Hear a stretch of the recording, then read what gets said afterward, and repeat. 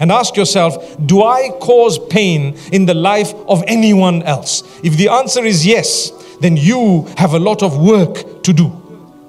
Do you cause pain to someone else? Perhaps someone living with you, someone working with you, someone above you, below you in authority, in financial standing, or whatever else it may be?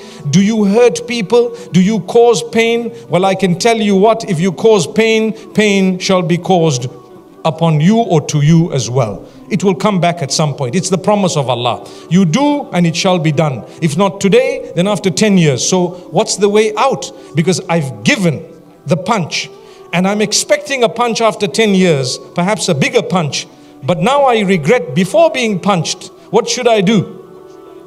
Well, I need to make amends by seeking the forgiveness of Allah, by reaching out to the person if I can and saying, I'm sorry.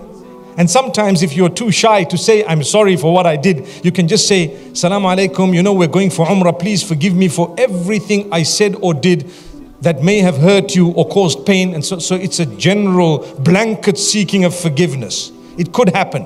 And sometimes you may not have access to that person. That's the worst type of harm you could have inflicted another. When you don't even have access to the person, you barely know them. In the age of social media, this is happening a lot where you said something, you retweeted something, you reposted something that was hurtful and harmful against a person you don't even know. You may never ever know in your life. How are you going to make amends with that type of a person when you don't even know them, you don't have access to them, but you have a debt that you owe them, basically? That's very dangerous.